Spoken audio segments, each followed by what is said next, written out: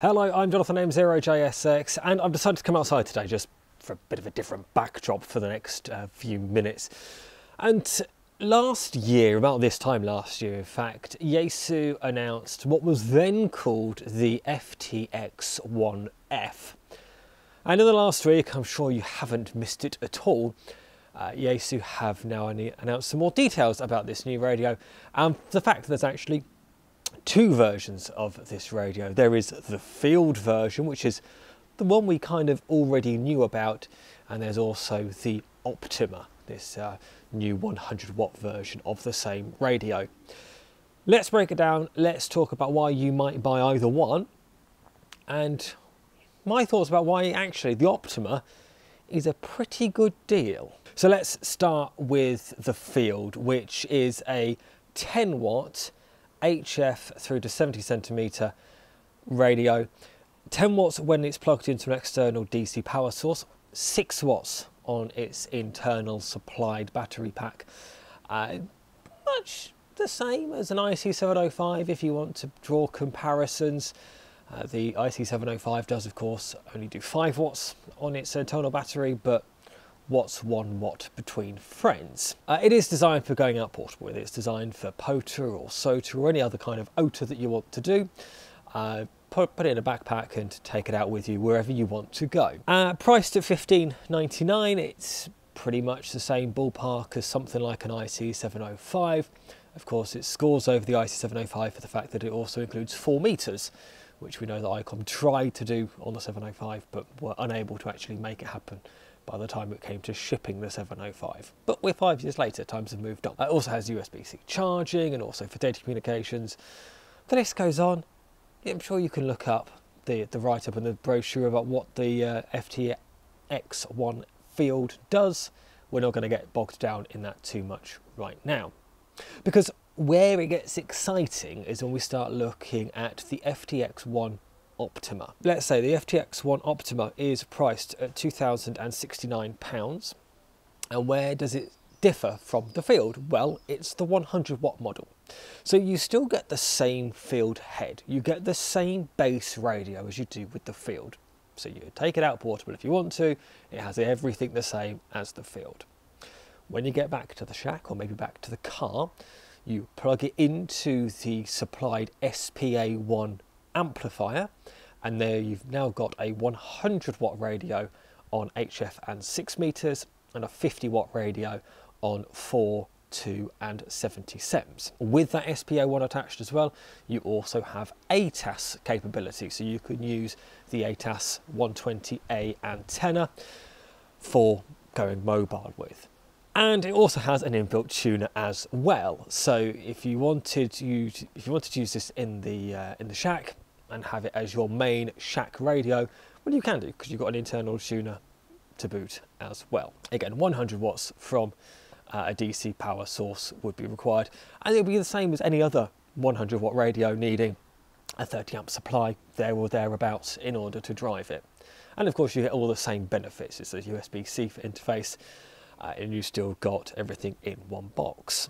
Now it seems to me that Yaesu have tried to be a bit clever with this radio because not only have they tried to replace one radio, arguably the FT817 or FT818, they've also looked to replace the FT857 with this radio for the fact that uh, it's 100 watts out on HF and 6, 50 watts out on 2 and 70, supporting the ATAS antenna. And arguably, they've also tried to replace the FT991 and 991A for the fact the radio includes C4 FM and a waterfall display as well on uh, the VHF UHF bands. Why do I think this radio is such a good deal for over £2,000? Now, let's not beat around the bush. £2,000 or £2,069 is a lot of money, and I'm not going to say that everybody is going to go out and buy one of these radios because that's obviously not the case.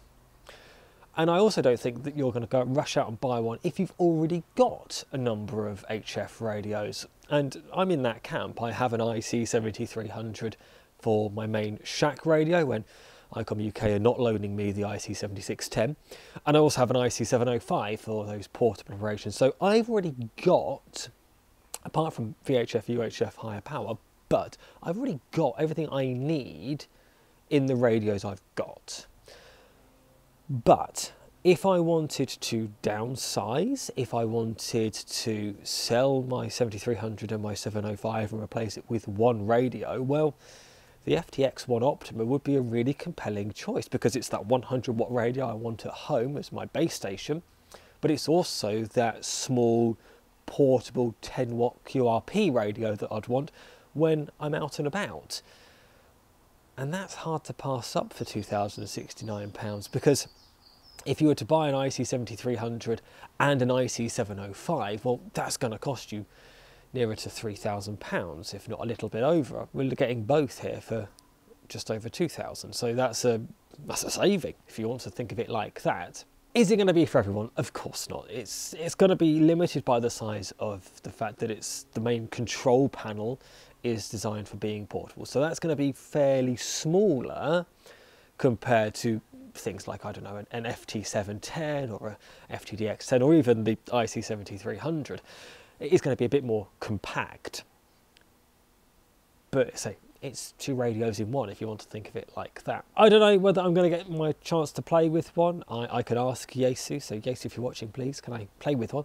I'd like to, but I think they're going to sell in their vast quantities. I'm not going to put a number on that, but I think they're going to sell really well simply because it's a one size fits all radio uh, that not only is, as I say, with the Optima 100 watts out on, on HF and 6, and 50 watts out on 42 and 70, but also it's got SSB on those uh, VHF, UHF bands as well. So really good if you wanted to go out uh, and play maybe in the UKAC contests here in the UK in the RSGB series. Let me know what you think. Uh, I think it's a great deal. I think that uh, if I didn't already own the 7300 and the 705, I would certainly be looking to to put the uh, FTX1 Optima uh, into my arsenal, and I can see that that's going to be the case for a lot of people. I'm also interested to know from you if you've already got a 705, whether you're looking to replace your 705 with the FTX1, maybe the field version. Is the draw of four meters maybe of particular interest, or the fact that it's draw receive is that of particular interest to you? and would make you give up your 705 for the FTX1. Interesting on that one. It's also worth mentioning what the FTX1 doesn't have in either variant. So from what I can glean, GPS uh, is an optional extra. It requires a little dongle to be plugged into the side of the unit as a GPS antenna. Uh, so that's a bit of a downside um, when the radio does support APRS, but it looks like GPS is not an inbuilt thing. And the same with Bluetooth. Uh, you can add a Bluetooth module to get Bluetooth functionality uh, through a headset, uh, but that is a, a, module you've got to install in the radio. It doesn't come as standard. Also doesn't appear to include any kind of Wi-Fi capability, so unlike with the IC705 where you can remote control that radio over Wi-Fi, looks like the FTX1 does not going to support that kind of operation. I'm not sure how many people do do that with the IC705. I know I do and have done with, with mine, uh, but I'm not sure how widespread that particularly is in a portable uh, HF to 77's radio. I suspect I'm in the uh, minority of users who have done that with their radio. Let me know what you think, comments down below please, let's have a bit of a conversation. If you've liked this video, there's a button specifically for that. If you haven't, there's another one that seems to work just fine too. And if you haven't already done so, please do click on that subscribe button and also click that notification bell and you'll be told whenever I upload a new video. There's another video coming up over here that the algorithm thinks that you'll like next. Until next time, 73. Bye-bye.